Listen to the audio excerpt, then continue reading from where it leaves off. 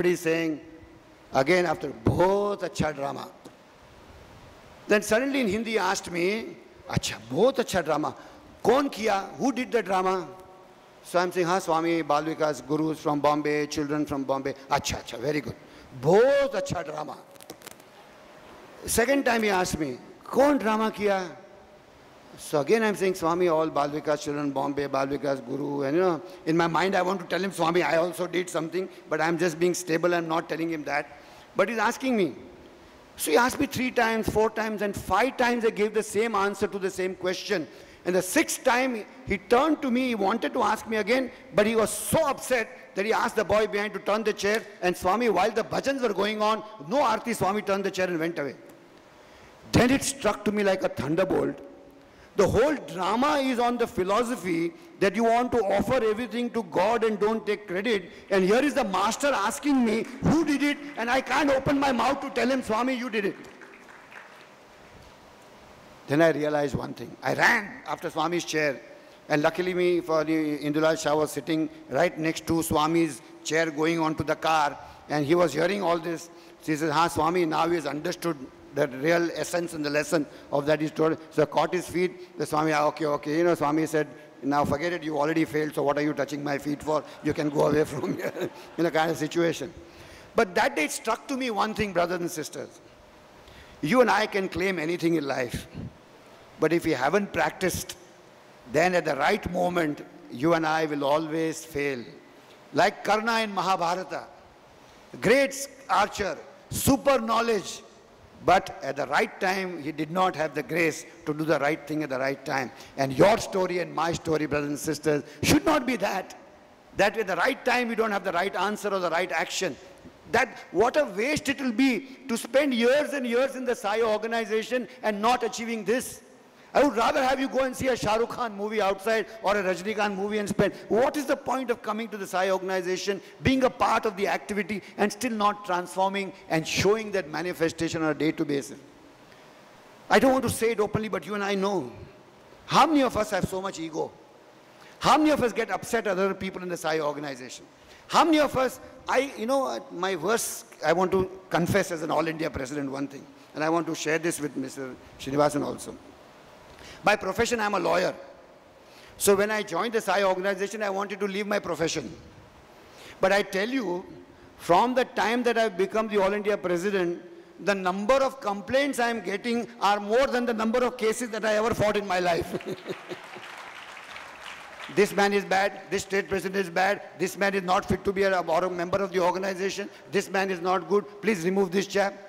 So now I have a standard reply to all this letter. Please tell me are you good enough for yourself to be sitting on judgment? I want to make you the arbitrator of this case. I don't get replies back. But I wonder, why would people think in these directions when they are at the divine lotus feet? Why would they want to even think bad of somebody when Swami, whom we claim full love and affection for, imagine you love somebody but you don't want to listen to him. What kind of love is this? I don't understand. I say full faith in Bhagwan, but I don't want to follow his message. I don't understand this situation. If you say I love Bhagwan, follow him. If you say I have faith in Bhagwan, express it. If you believe that no, God is my master, become a servant. If you think God is my friend, endow the friendship with him and fulfill what he thinks is right, is what I really wish to peace because sadhana is a very, very important dimension, brothers and sisters. I don't want to be, because if this foundation is not there, what is the Sathya Sai organization? How is it different from the whole world?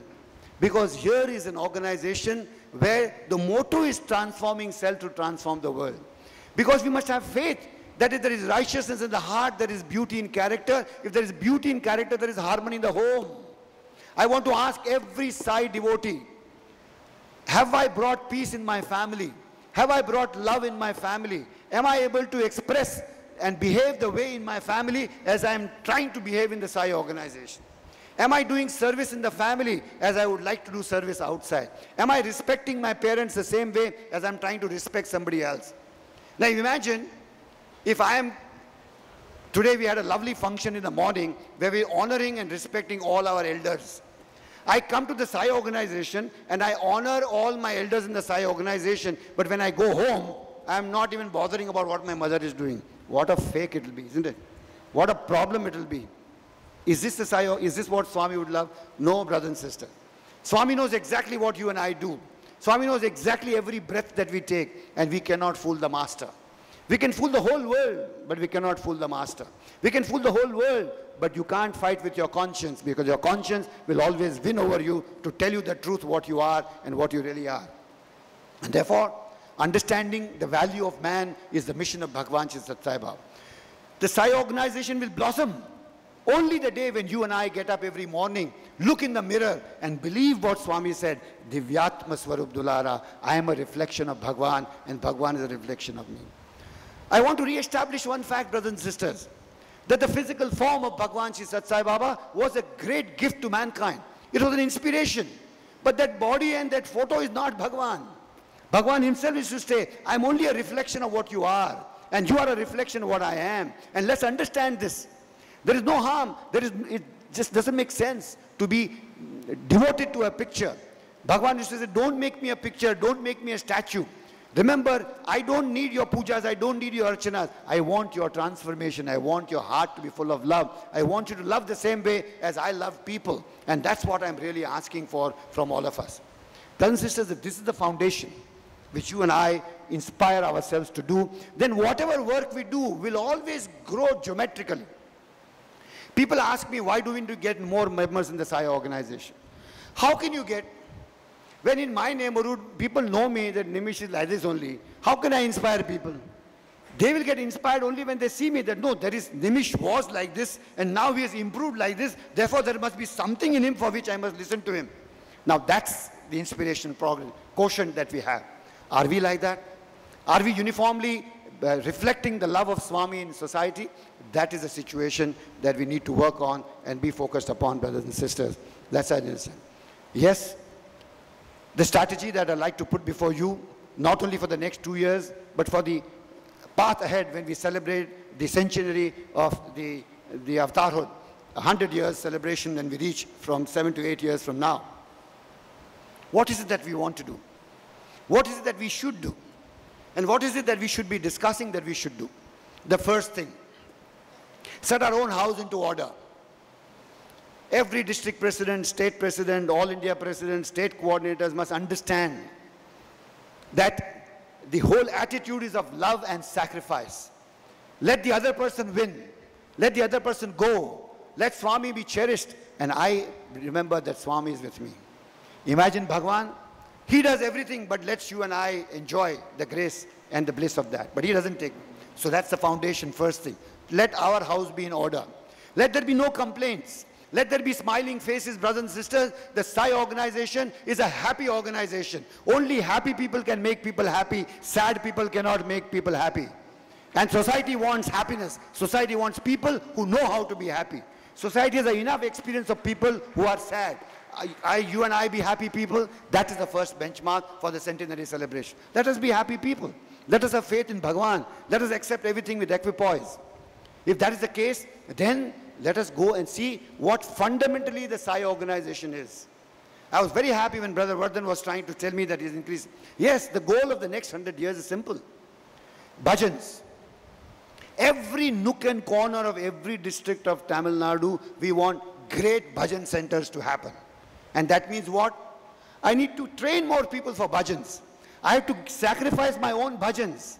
I can't expect that people 10 miles away in Chennai have to come to a bhajan center which is 20 miles away. No, you come to my bhajan center, then only you are a part of the organization. No. There should be thousands of bhajan centers in every house. Let's train every community, every society how to sing bhajan. Every nook and corner there should be Sai bhajan. That is the goal and vision that we want.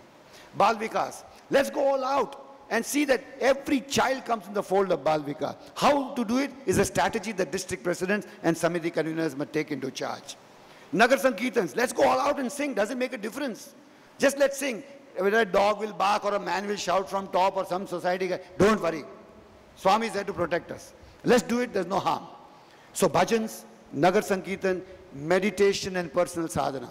In fact, Brother Ramani and I are planning now that every Sai worker and office bearer will have a spiritual diary like the Balvikas children who he or she will fill up every day and offer it at the Divine Lotus feet once in a year. I'm going to offer an opportunity for the entire organization, even if it is bags and bags of books which come November or July, whatever you plan the state president, will bring all the self-assessment diaries and offer it to the Divine Lotus feet of Bhagwan. So that our commitment to Bhagwan is sustained. Self-transformation, increasing bhajan centers, increasing Balvika centers, and increasing uh, study circles is a very, very important dimension that I would urge you to plan for the next centenary celebration. Service projects. See, service I want to clarify. Service project is not doing big things. I used to always remember one quotation where greatness does not lie in doing one thing 100% better. Greatness lies in doing 100 things 1% better every day. That is the difference between the work that we do in the SAI organization. We are not target oriented. We are not here to change the whole world. But we want the spirit of service to be imbibed in every family.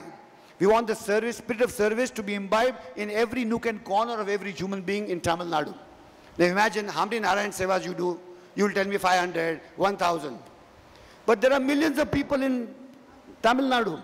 Why can't I think of a process where I will promote the concept of Narayan Seva with every family in Tamil Nadu, irrespective of the fact whether he or she or that family is a Baba devotee or not. Because feeding the poor is automatically an act of God which will inspire the person. That's the vision that we want. Take off service. Why would I want on a Sunday only for 10 people to come and do seva on a particular project. Why can't I inspire every family to do seva as a family sadhana? Go and teach one person. Go and feed some person. Go to the nearest hospital. Let 10 families go to the nearest hospital and do it. Why can't I promote this all the time in the name of Bhagwan and get it blessed by everyone? And that does not mean that I'm saying don't do what you are doing. Yes, projects that we are doing at the Samiti level will do it because they have their own importance. But let us not get lost in doing big projects where we forget to do small things in life. Let us not become stage heroes by telling people we did this, we did this, but at home we don't do anything. Take the example of celebrating Bhagwan's birthday. I've watched in the last so many years. Bhagwan's birthday is celebrated in big events where lakhs of rupees are spent. Please spend. If you have the money and if you have the will and the consensus of people, please spend, no problem. But have you ever imagined that there are 2 million Sai devotees in this country. And if 2 million Sai devotees decide that they want to celebrate Bhagwan's birthday in their own homes as they would celebrate Diwali and invite 20 new people to come around with them, their cousins, their families, their people who don't normally come. They know that this man goes to the Sai organization, but they don't participate. On that day, if there is a celebration in the home, if the houses are decorated, Bhagwan's pictures are lit up, 2 million into 10, how many people will celebrate Bhagwan's birthday? Have you ever imagined? And see, I spend 20 lakhs of rupees and 2,000 people will come for celebrating at one place. Do that, no harm if you have the money. But which is a greater event for Bhagwan? When Bhagwan's birthday is celebrated, Guru Purnima is celebrated in every home. Now that's the outreach that we're looking for. That's the vision that we're looking for in the next, as we reach. Imagine a day, five years from now, 23rd November, in this country, every Sai Bhakta, whether he's a part of the Sai organization or not, if he celebrates Bhagwan's birthday in his home or her home with 10, 15 people, they all become members of the Sai organization automatically. Imagine the vision. This is the vision I would like you to urge and think about how to spread into society, how to get into the homes of people and how to inspire people on the message of Bhagwan Sri Sathya Sai Baba is a very, very important situation. And yes, before I conclude and throw the open house for any questions that you may have, I definitely want to end with two things. One is a story to remind each one of us, never have the ego that you and I plan anything or execute anything. You and I are allowed to have sankalpas of good nature and prayer to Bhagavan. Every Sai office bearer must meditate and must pray. Even if you don't meditate, learn the art of silence. Let us speak less. Don't speak like me for one hour. Speak less. Don't speak at all. But keep quiet. Learn to listen to Swami from inside. Inspire people with your action. Inspire people with your behavior. Do not ever complain. The nine points of code of conduct are serious business. are really serious business. And out of that, one point is very clear. If ever we hear any office bearer, any member of the SAI organization complaining about anybody else, then that person has to be quarantined. We don't throw anybody out of the SAI organization, but we quarantine them so that they can correct and come back into the field. It's like a football match. Show the red card, he's on the sides. The moment he calms down, come back and play. That is the reason. Therefore, I don't want to hear, throw this man out of the SAI organization. Who are you to me, throw anybody out? I don't understand. Throw this state president out. How can I throw him out? I can't throw him out. That is the vision that we need to understand. The story that I remember very much is the story of the Vahanas of Bhagwan. To know how stupid we are when we plan. The story of the Vahanas of Bhagwan you heard, and I go through it very quickly. In a great conference of all the Devis and Devtas, there was a conference hall and all the Devi Devtas came on their car. Somebody in the Mercedes-Benz, you know, we go in Mercedes-Benz, BMW, Fiat, Ambassador. All the gods came on their Vahanas. Okay, Ganpati came on the mouse.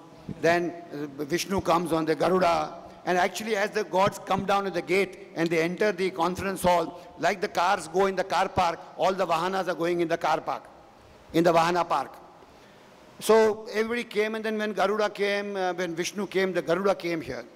And Garuda was sitting in the car park waiting for Vishnu to come out after the conference. And he looks up on the roof of the building. He sees a bird sitting there. But the next person to enter is Yamraj. So Yamraj came with his uh, great bowl. And as he got down, he looked up and smiled at the bird. And the moment Yamraj looks up and smiles at the bird, you know what happens. But the bird didn't die. So Garuda, who's the same family, you know, my brother, my cousin, Garuda sitting there, he said, oh God, thank God Garuda, Yamraj has looked at this bird and the bird has not died. Let me do something. I must do something to save. Let me plan how to save this bird. So moment Yamraj smiled and went inside, Garuda went, picked the bird, flew over seven seas and hit the bird in the forest, seven seas across. And came flying back and sat in the car park. After the conference got over, Yamraj comes out again and looks at the bird. He's, the bird is not there, but Yamraj doesn't get angry. Normally Yamraj will get angry, oh, did this, you know, kind of stuff. The Yamraj, oh, again he smiled and smiled and started leaving. So now Garuda is very confused. He says he came and looked at the bird and smiled. Now the bird is not there, still he's smiling. So he can't stay, he goes flying. Sir, sir, sir, please tell me, sir. He says, ah, then he understands, yes, Garuda Maharaj, what do you want? He says, no, when you came, you looked at the bird